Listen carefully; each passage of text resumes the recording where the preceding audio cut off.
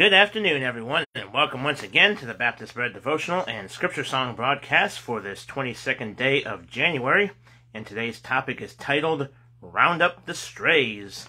And before we get started on that, I'd like to greet you, as always, in the name of our Lord and Savior Jesus Christ, who is the Lamb of God, which taketh away the sin of the world.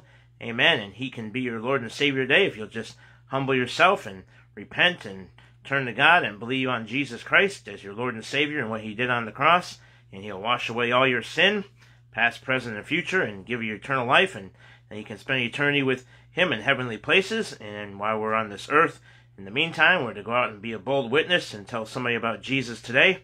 So, Amen.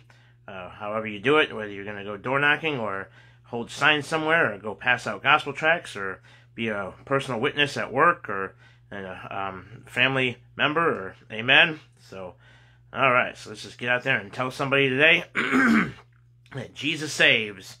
Okay, we're going to start with today's scripture song, and this is from Ephesians 6 10 through 11, talking about the whole armor of God, and uh, uh, good passage there, talking about the whole armor of God, right? How we're supposed to put it on. Amen. So there's the first uh, couple verses from that. So here we go. Press play and sing along with Brother Dean and Sister Patty.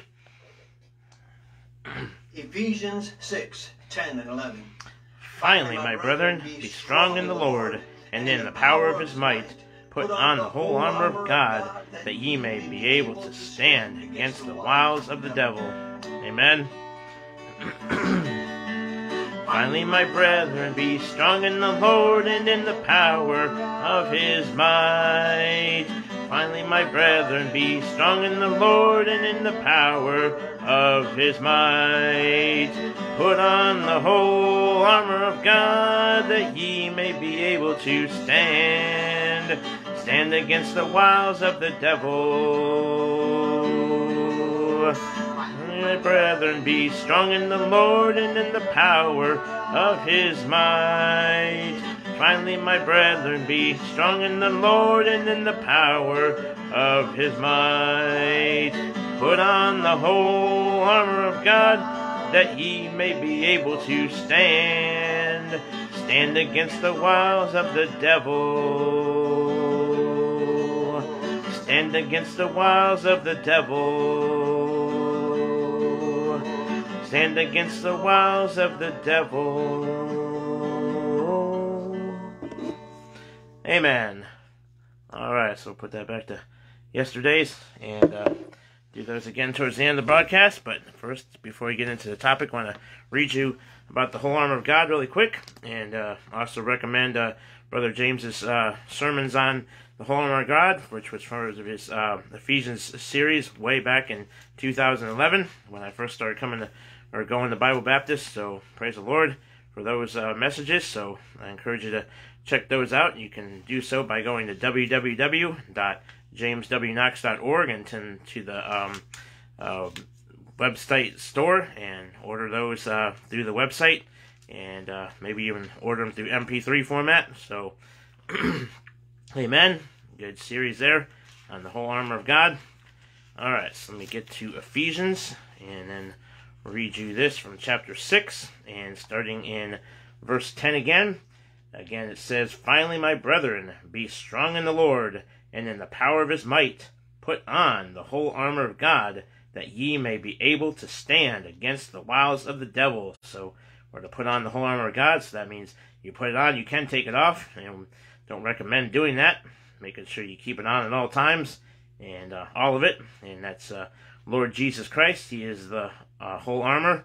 Amen. So, uh, verse 12 says, um, For we wrestle uh, not against flesh and blood, but against principalities, against powers, and against the rulers of the darkness of this world, against spiritual wickedness in high places. Wherefore, take unto you the whole armor of God, that ye may be able to withstand in the evil day, and having done all to stand. So he basically tells us to stand, and then the Lord does the fighting for us. Amen. So verse 14 says, Stand therefore, having your loins girt about with truth, and having on the breastplate of righteousness, and your feet shod with the preparation of the gospel of peace.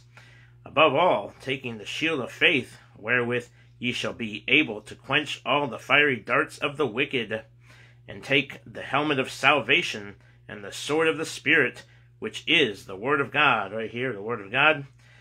Praying always without, or excuse me, praying always with all prayer and supplication in the Spirit, and watching thereunto with all perseverance and supplication for all saints, and for me, that utterance may be given unto me, that I may open my mouth boldly to make known the mystery of the gospel, for which I am an ambassador in bonds, that there uh, in I may speak boldly as I ought to speak.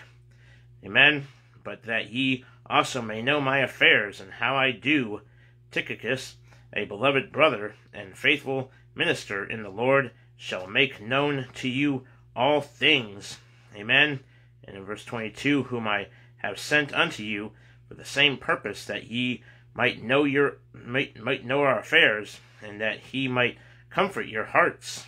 Peace be to the brethren, and love and love with faith from God the Father and the Lord Jesus Christ. Grace be with all them that love our Lord Jesus Christ in uh, sincerity. Amen. So there you have it, the rest of the chapter there, and the whole armor of God, and that would be Jesus Christ. Amen. All right, so now we'll go ahead and get into the topic here for Sunday, January 22nd, titled Round Up the Strays. And we have here in Luke 14:23b says, "Go out into the highways and hedges and compel them to come in that my house may be filled." Luke 14:23b. It's funny how this uh, passage keeps coming up today uh, throughout the sermons this morning, both by Brother Justin and then Brother James, talking about this uh, these passages here. And uh, so I encourage you to go listen to those two messages by Brother Justin during the Sunday School Hour, and then uh, Brother James uh, mentioned a little bit in the um, regular church service hour. So, amen, when he went through the book of Micah, talking about um, uh, inflation. So, check that sermon out, both of those, and really good stuff. And uh, amen. Okay, so today's author is Brother Guy Goodall, and he is. Hold on a second, let me get there.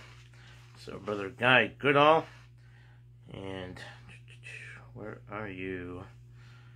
All right, so he is the pastor of Bible Baptist Church in Hudson Falls, New York.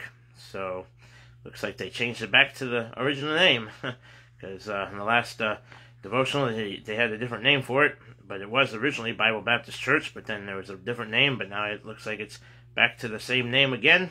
So, not sure what happened there, but amen. And so pray for Brother uh, Goodall because he's dealing with very serious uh, health issues, is what uh, Brother Tim Green said in the beginning here from the word from the author or the editor. Amen. So pray for him. Okay, so let's get into this topic here titled Round Up the Strays. Uh, the principle applies to both soul winning and to the uh, re- uh, reclamation of the wayward brothers and sisters in order to round up those who are spiritual strays we need to prepare. So we got these uh, four things here on how to prepare. So first we need a burden for those who have gone astray. It is not necessarily to sit around and wait for god to give you a burden. Uh, one must voluntarily assume that burden. Second, we must make sure our own spiritual equipment is ready, right? So make sure that we're ready before we go out there and try to round up those because if we are not in the right state of mind and not uh, um, right and doing right, then we can't be going out and rounding up somebody that is uh, gone astray. So, because it might make you fall. So, amen. So, again, second, we must make sure our own spiritual equipment is ready uh, cowboys uh, checked everything before heading out for a roundup. Check your prayer life, your own faithfulness, your knowledge of the guidebook, and your support of the tra- uh, tra- uh, trail boss. Right? So, amen. And second, uh, third, remember that roundups are team efforts. Find your place, accept your responsibility, be faithful to your assignments, and avoid constant complaining about how tough it is, right? So no complaining or murmuring. And then fourth, remember that the main point is the best interest of the strays. So fourth, remember the, that the main point is the best interest of the strays. The roundup is not a look at me activity, it is for the strays, our love for them, and the sacrifice made to bring them back to the corral, right? Are you ready to saddle up, or are you just sitting in the uh, bunkhouse polishing the saddle? Hmm. Uh, I hear the trail boss calling for us to mount up. Amen. Our text was really the second plea to gather strays due, due to the excuse making inviters um, who are inviters. I'm not sure how you say that. I N V I T E R, inviters, uh, who did nothing. So the master said to gather the poor, maimed, uh, halt, and blind. The faithful servant reported, Lord, it is done, and yet there is room. Verse 22, amen. So there's always room for more to be saved. Amen. Praise the Lord. All right, so let's go and read this passage here again, since it's been brought up so many times today during the service hours and now again in the devotional. So Luke 14, and let's look at this. And Luke 14, and let's see, 23. So where do we have to start here? Um, 14. I'm trying to see where we need to start here. Alright, so I guess we'll start in verse uh, um, uh, 15. So says here in verse 15, and uh, when one of them that sat at meat with him heard these things, he said unto him, Blessed is he that shall eat bread in the kingdom of God. Then said he unto him, A certain man made a great supper and bade many, so that's Jesus speaking, uh, and sent his servant at supper time to say to them that were bidden, Come, for all things are now ready. And they all with one accord, or assent, or consent, excuse me, and they all with one consent began to make excuse. So these are the first that are making excuses talking about these different excuses uh, why they can't come. Uh, the first said unto him, I have bought a piece of ground, and I must needs go and see it. I pray thee, have me excused. so the ground's always going to be there, as Brother Justin said this morning, and Brother James talking about the ground always being there, and it's not going anywhere, but it's just an excuse not to, to come and go to church and uh, be part of the fellowship or the supper for this instant, and uh, Amen. So that was the first excuse. And then another said, I have bought five yoke of oxen, and I go to prove them. I pray thee, have me excused. And another said, I have married a wife, and therefore I cannot come.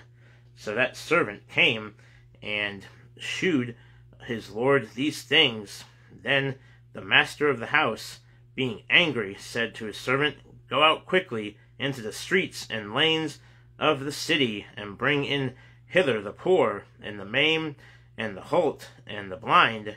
And the servant said, Lord, it is done as thou hast commanded, and yet there is room. Amen. And the Lord said unto the servant, Go out into the highways and hedges, and compel them to come in, that my house may be filled. For I say unto you, that None of those men which were bidden shall taste of my supper. Amen. All right, so that was the passage there again. Amen. All right, and I'll just go through these points here really quick about uh, rounding up the um, the strays here, the spiritual strays. Uh, so we need to prepare, and again, first we need a burden for those who have gone astray. Second, we must make sure our own spiritual equipment is ready. Uh, third, remember that roundups are team efforts. And then fourth, remember that the main point is the best interest of the strays. Amen. So, are you ready to saddle up, or are you just sitting in the bunkhouse polishing the saddle? Uh, so, make sure ready to saddle up, and the trail boss is calling for us to mount up. And he says our text was really the second plea to gather strays, which we just read and due to the excuse making inviters, uh, who did nothing. Uh, so the master said to gather the poor, maimed, halt, and blind. And then the faithful servant reported, Lord, it is done, and yet there is room. Verse 22. So more room for people to get saved and trust in Jesus. Amen. So let's go out there and round up those strays, whether they be uh, saved people that have gone astray or lost people that need to be saved. Amen. Go out there and compel them to come in. All right, now it's time for the Daring Devotion topic for today, and this is from the book Daring Devotion, a missions devotional, a 31 day journey with those who li- uh, lived God's promises, written by M.R. Conrad. And today is day 22, and it's titled Results. And this is about Mary Slessor, who was a missionary to Nigeria, 1848 to 1915. And she says, Christ sent me to preach the gospel, and he will look after the results. Amen. Mary, Mary Slessor, missionary to Nigeria, 1848 to 1915. And then the passage from 1 Corinthians 3 6 says, I have planted, Apollos watered, but God gave the increase. And that's Paul speaking. All right, so here we go. Run, Ma! The Nigerian women carrying for the caring for the orphans shouted, rousing the Scottish missionary from her sleep. Already dressed and packed, Mary Slessor ran, not fleeing in terror from the inevitable conflict, but charging directly toward the rampaging warriors. This scene was often repeated during Slessor's time in the ok- Okoyong district of Nigeria. On one such occasion in 1890, Slessor's daring dash particularly concerned her friends, as if the long run through the African jungle were not danger enough. Mary knew that uh, knew she was headed toward a band of notoriously violent men, frenzied with alcohol and worked up for revenge. I have heard of no war, the chief of the village said when Mary arrived, breathless and spent. Uh, he did not want her to interfere. If there was a war, the chief declared, uh, they were not likely to be helped by a woman. Uh, in measuring the woman's power, she responded, You have evidently forgotten to take into account the woman's God. Mm. Uh, what audacity! What woman would dare to challenge tribal chiefs of Nigeria in such a fashion?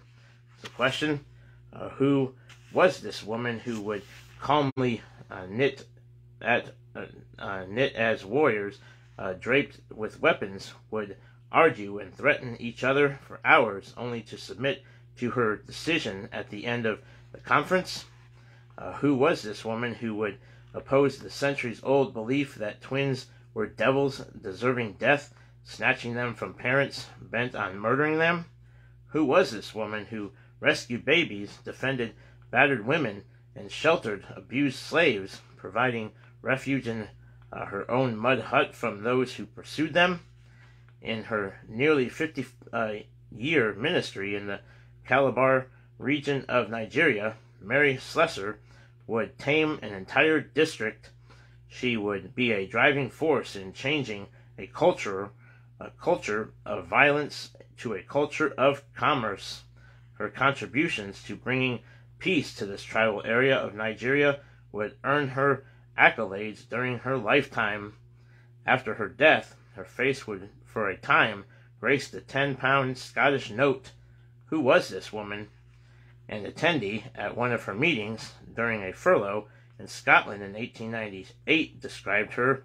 She was a most gentle looking lady, rather below the average height, a complexion like yellow parchment, and short, lank brown hair, a most pleasing expression, and a winning, winning smile. And when she spoke, I thought I heard, I had never heard such a musical voice. Her biographer tells of her timid nature and how she was nervous to speak to a crowd of men in her home country. Uh, toward the end of her life, Mary wrote to a supporter, I have always said that I have no idea how or why God has carried me over so many funny and hard places, and made those, uh, these hordes of people submit to me, or why the government should have given me the privilege of a magistrate among them, except in answer to prayer made at home for me, it is all beyond my comprehension. The only way I can explain it is on the ground that I have been prayed for more than most. Pray on, dear one. The power lies that way. Amen. As she reportedly ran through the jungle to prevent bloodshed or rescue an infant, she would pray, she said, My one great consolation and rest is in prayer. I did not use uh, to believe, uh, used to believe the story of Daniel in the lion's den until I had to take some of that awful, uh, to take some of these awful marches, and then I knew it was true and that it was written for my comfort. Many a time I walked alone praying, O God of Daniel, shut their mouths, and he did. Slessor did not become this woman of faith overnight. When she was a child, her alcoholic father wasted the family's money. After his death, responsibility for providing for the family fell to her, the oldest daughter. By age 14, Slessor was working 10 hours per day in a textile factory. She often balanced a book on top of her loom to read whenever she could uh, could during the uh, workday. She read much about mission work in Africa. Then in 1874, David Livingstone's death inspired young Slessor to take the gospel to Africa. Amen. After some training and arrangements for the care of her family, 28 year old Slessor sailed for Nigeria on August 5, 1876. For 10 years, she served alongside veteran missionaries near the harbor, but the call of the unreached inland tribes tugged at her heart. During this time, she wrote, It is difficult to wait. Christ never was in a hurry. There was no rushing forward, no anticipating, no fretting over what might be. Every day's duties were done as every day brought them, and the rest was left with God. He that believeth shall not make haste. Isaiah 28:16. As Mary kept considering a move into the dangers of the untamed north, her mother assured her, "You are my child, given to me by God, and I have given you back to him. When he needs you, and where he sends you, there I will have you be." Not long after this, God took her mother and younger sister home to heaven. Mary wrote, Heaven is not nearer to me than Britain, and no one will be anxious about me if I go up country.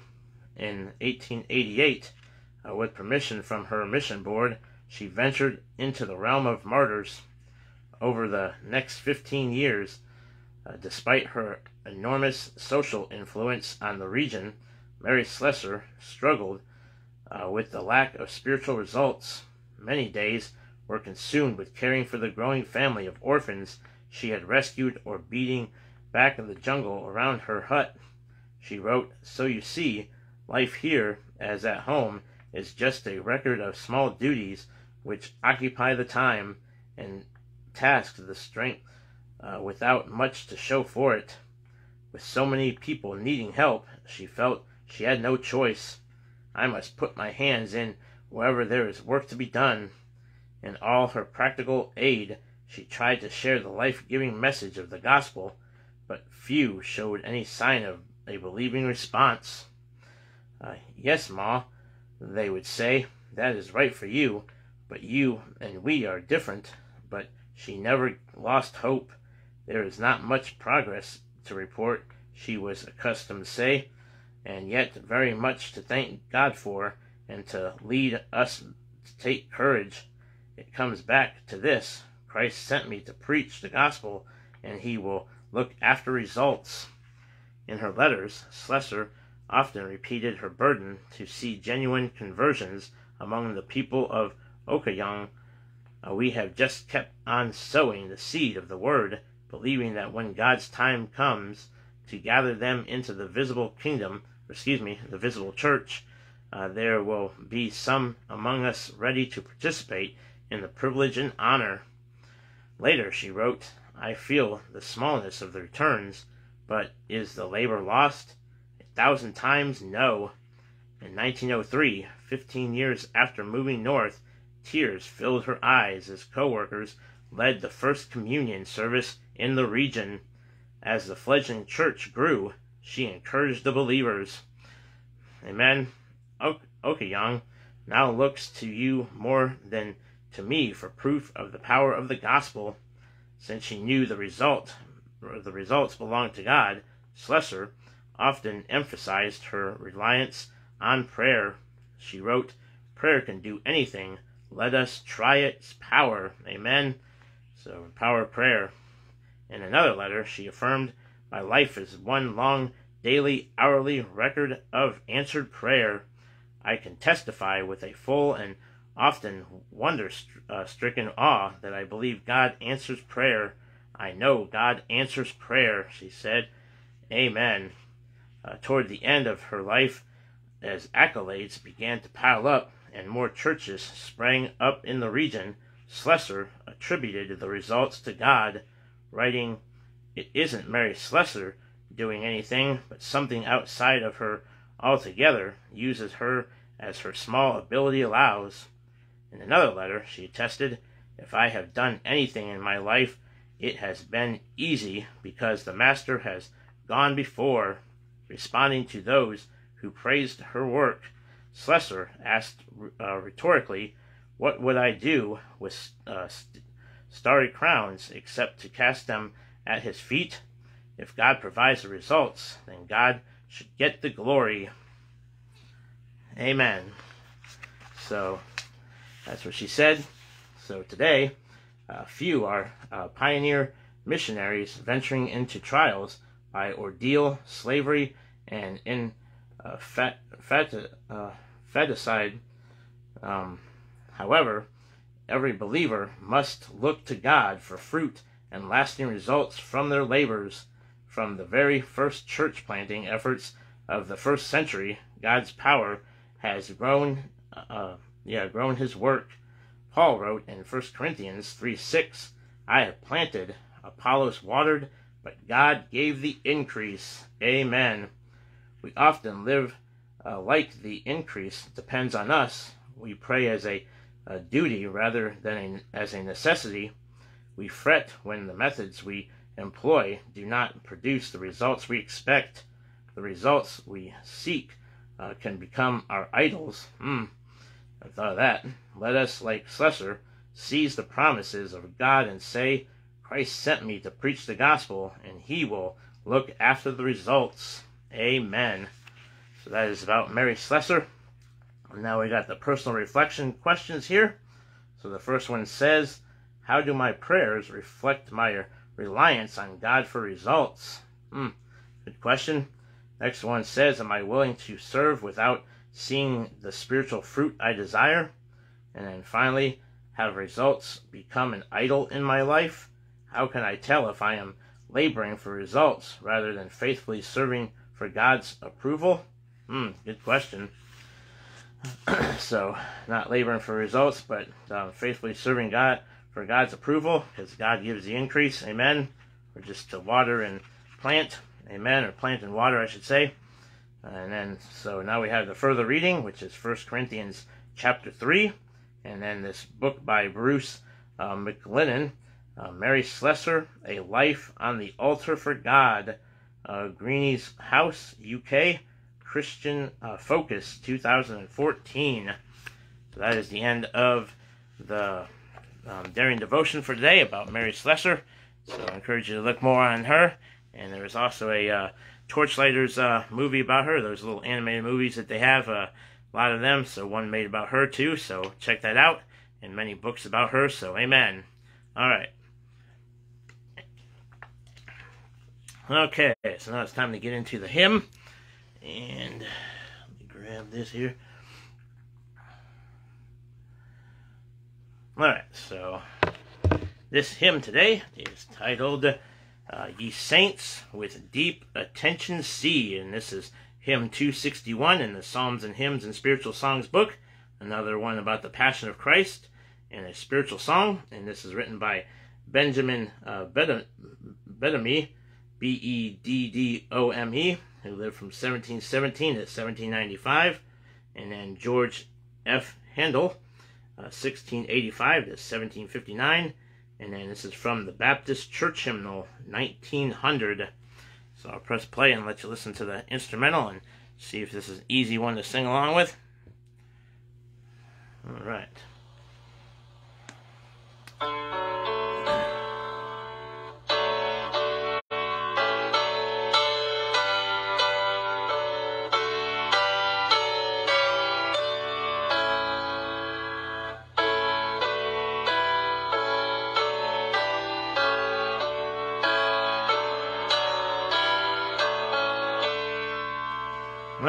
We'll try it. See how it goes.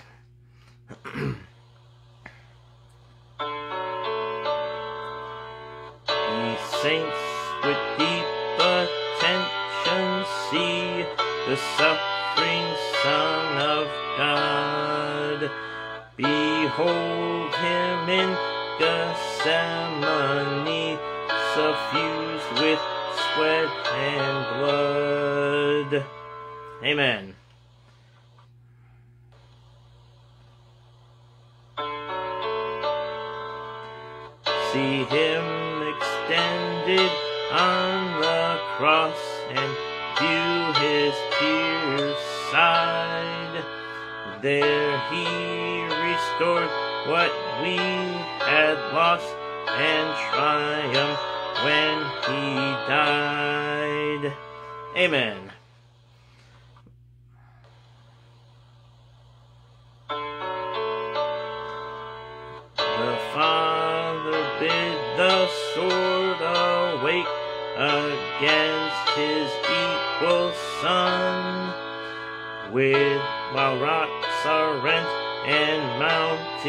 Quake, he looks with pleasure down. Praise the Lord. Mm, last stanza.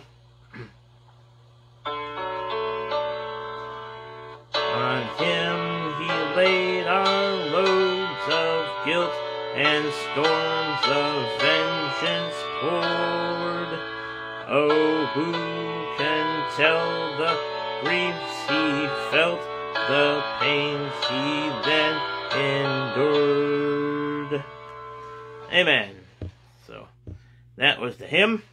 Ye saints with deep attention see, and I'll give you the references really quick. No story with this one. So let's see. Stanza one, we have Luke nine twenty two, and then Luke twenty two forty four.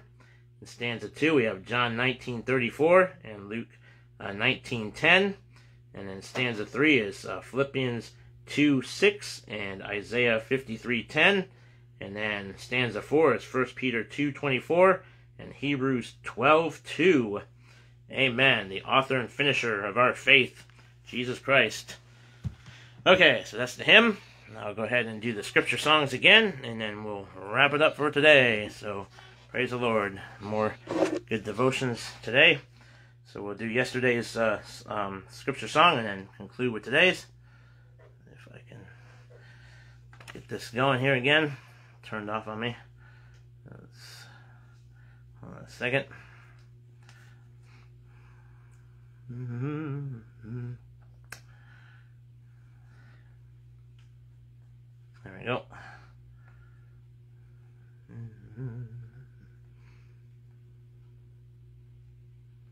All right.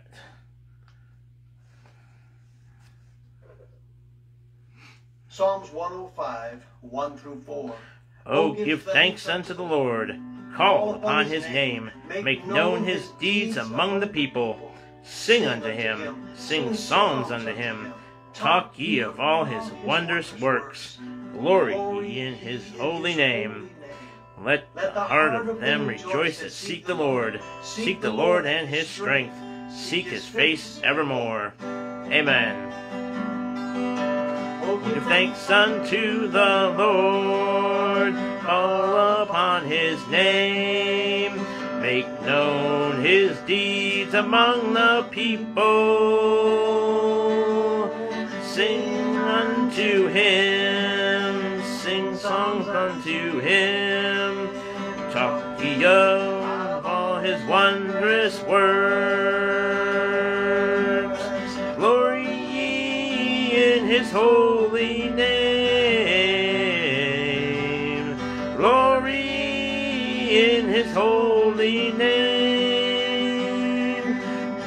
Heart of them rejoice that seek the Lord. Seek the Lord and his strength. Seek his face evermore. Glory ye in his na- holy name. Glory ye in his holy name.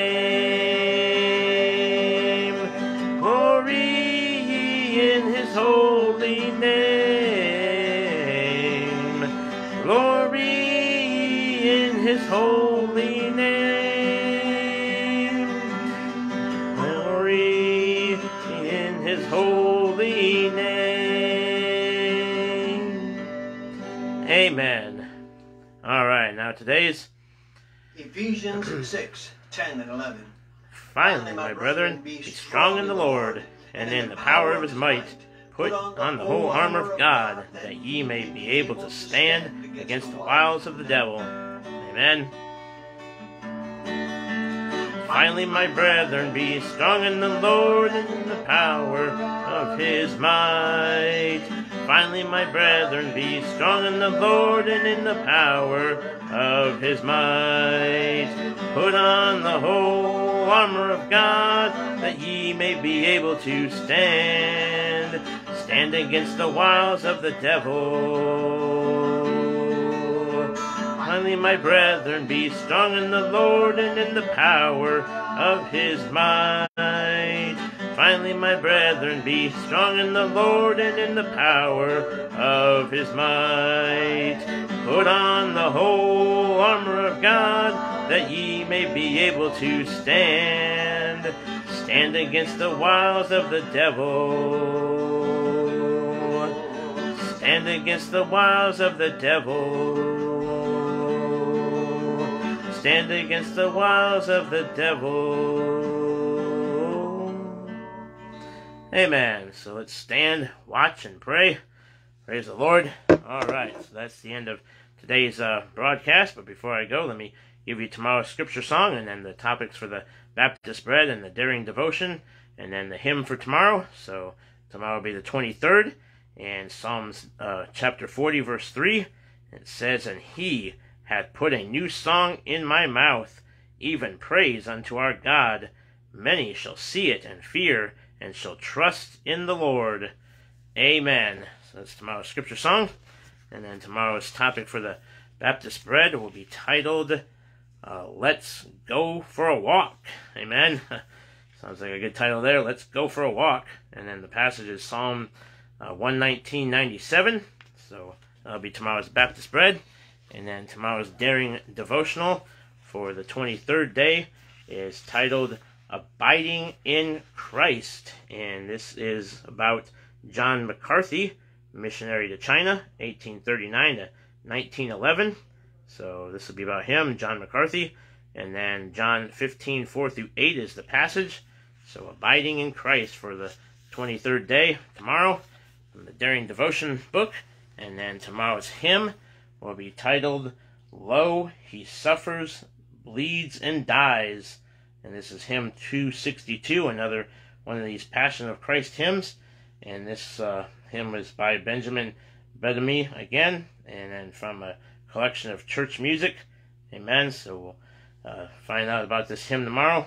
No story again for this one, but uh, we'll get into that tomorrow. And then if you want to get a copy of that, that's found on melodypublications.com. Amen. And then they also have um, the Daily Strength uh, devotional study books. Uh, there's four volumes of those. I believe you can order those on that website also, along with some other uh, things. I think some CDs that they made, uh, instrumental. So check all that out at melodypublications.com. And then, of course, the scripture song book and CDs are available online at www.dailyscripturesongs.com. That's Brother Dean and Sister Patty's website, and they're missionaries to Port Kaituma, Guyana, the Runyons. So pray for them, and got some good news. Brother Dean said that it looks like they'll be able to stay in the jungle longer, amen, because uh, looks like a team from the um, from here in America will be over there to be able to do surgery for him in a, uh, about a month or so from now. So pray for him and praise the Lord. That's a good answer to prayer. So amen. All right. So that's uh, their information, and then the Baptist Bread devotional book is available online to get a subscription going by going to www.baptistbread.com or www.timgreenministries.org. And then we got the Daring Devotion book, and this is uh, by M.R. Conrad, Daring Devotion, a mission devotional. So you can get that on the internet or perhaps at your local bookstore. And of course, as I stress as always, the first thing we need to be getting into right here is God's holy word, the King James Bible. So open it, study it, let it sink into your heart, and read it and ponder on it. And uh, as uh, many of the men uh, during the Bible conference was talking about beholding uh, different things in God's word. When you see the word behold, it means to meditate on it, to think about it, and uh, let it sink into your heart and uh, really dwell on it. So, amen. So, lots of those in the Bible, and check out that series of messages from the Bible conference last week, and can't believe it went by so quickly. And then, of course, today's sermons uh, from Brother Justin and Brother James. Uh, he did another one from Micah, and it was on inflation in the Bible. So check those out. Amen. At www.jameswknox.org or or the YouTube channel, which is James Knox Sermons, and check out the Micah series. Amen. All right. Well, that'll be it for today. So thanks for watching and may the Lord richly bless you until next time. Remember, only Jesus Christ can save your soul, so make sure you put your faith and trust in Him today. Amen. All right, bye bye for now.